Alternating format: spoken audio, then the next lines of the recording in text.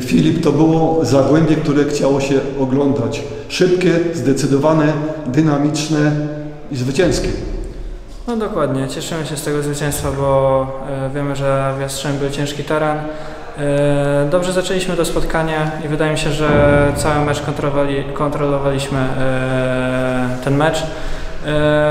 Szkoda tej straconej bramki na początku drugiej połowy, ale wydaje mi się, że, że ogólnie mecz na plus i, i oby tak dalej. Czekamy na mecz z Odrą.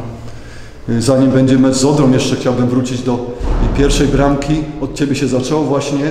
Jak ustawiłeś piłkę na rzucie wolnym, co myślałeś? Uderzyć, trafić w światło bramki. No dokładnie. E, ciężkie warunki były dla bramkarza na pewno, bo, bo było mokro i e, najważniejsze po prostu, żeby, żeby strzelić w światło bramki.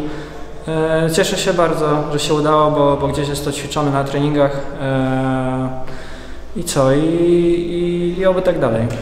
To Twoja druga bramka y, w Zagłębiu w- tej rundzie. Powinieneś chyba częściej próbować.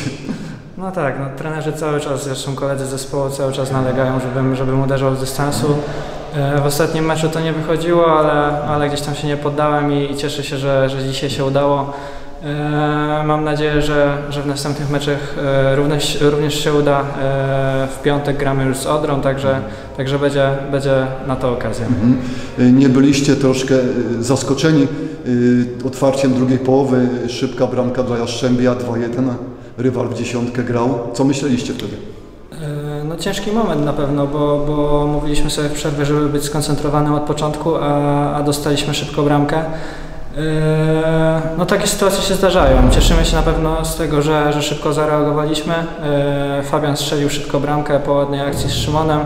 E, Także, także to jest taki pozytyw. No na pewno musimy być bardziej skoncentrowani i, i, i lepiej wchodzić w tą, w tą drugą połowę. Na koniec moje pytanie o mecz właśnie z Odrą Opole.